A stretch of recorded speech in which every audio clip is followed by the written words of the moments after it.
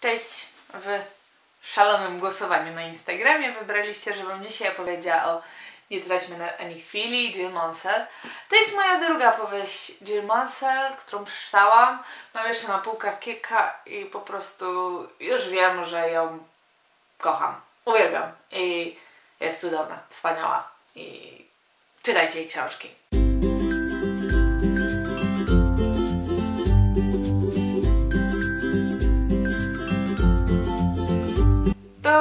Historia niby banalna. Mamy singla, który prowadzi idealne właśnie życie kawalerskie, ma mnóstwo kasy, co noc nowa dziewczyna, czasami zostaje ta, ta sama dziewczyna na kilka nocy, jak jest dobra, mm, świetny samochód, mieszkanie w centrum Londynu, sąsiadujące z sędzią i z luksusową damą do towarzystwa i po prostu jego życie jest idealne. Do momentu, kiedy umiera jego siostra. Siostra, która parę miesięcy wcześniej urodziła córeczkę. I w testamencie siostra powiedziała, żeby się brat nim, nią zajmował. Czego oczywiście on nie chce, bo przecież jak ma się zajmować małym dzieckiem? Ale za namową pewnej osoby podejmuje się tego wyzwania. Całkowicie zmienia swoje życie i to jest piękne, chociaż wiemy, że niełatwe. Yy, Uwielbiam Jill Mansell, bo w tej całej swojej prostej historii ma dużo wątków. W sensie jest ten główny bohater, Dexter, i obserwujemy, jak on uczy się tego rodzicielstwa, ale są też sąsiedzi, czy yy, właściciele różnych tam przybytków w miejscowości, w której zamieszkał i ich historie. I czasami te historie, te wątki są bardziej wciągające są po prostu niektóre wyrywają aż takie serducho. W momencie, kiedy Amber trafia do pewnego chłopaka, to po prostu. A to, co się później z nią dzieje.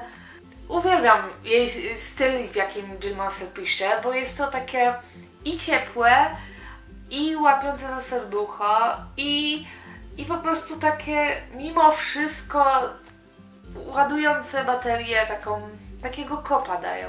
I to nie jest, to, to właśnie, niby to jest, nie, to nie jest romans, to jest taka obyczajówka, ale dobra obyczajówka. I wydaje mi się, że warto, warto, warto ją przeczytać. Co mi się nie podobało w tej książce, to informacja z przodu okładki. tu jest coś takiego. Kobieca literatura w angielskim stylu? Czemu nie? Czytam. Przez ramię mojej żony. I to podobno powiedział Radosław Krzyżowski, czyli serialowy Michał Sambor zna dobre i na złe. Ja go widziałam też parę razy w teatrze, ale nieważne, jako Macbeta na przykład.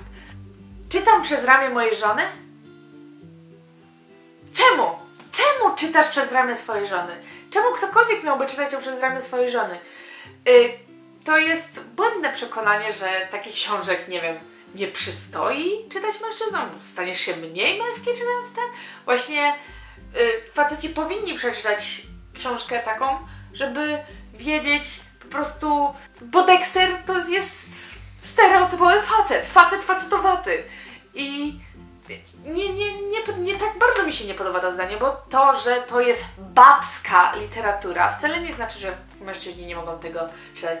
Strasznie seksistowskie jest to zdanie, więc ono mi się bardzo nie podoba, ale tak całość po prostu ci bohaterowie łapią tak, tak, no polub, polubiłam ich. Tak się z nimi utożsamiałam. Tam właśnie wątek rodziny Amber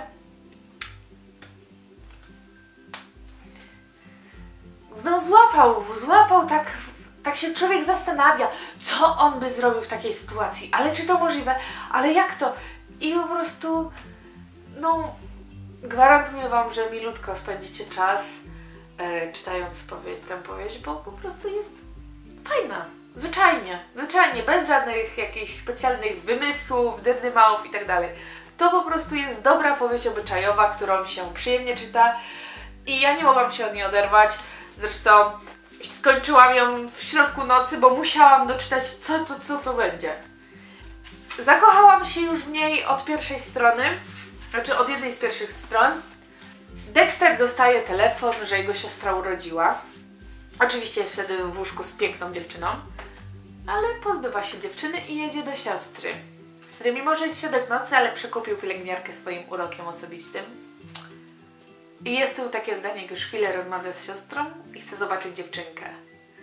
Z miejsca, w którym stał Dex, nie było widać łóżeczka. Skinęła głową w lewą stronę, żeby tam przeszedł, a potem usiadła wygodnie i patrzyła, jak jej brat się zakochuje. Prawdopodobnie po raz pierwszy w życiu.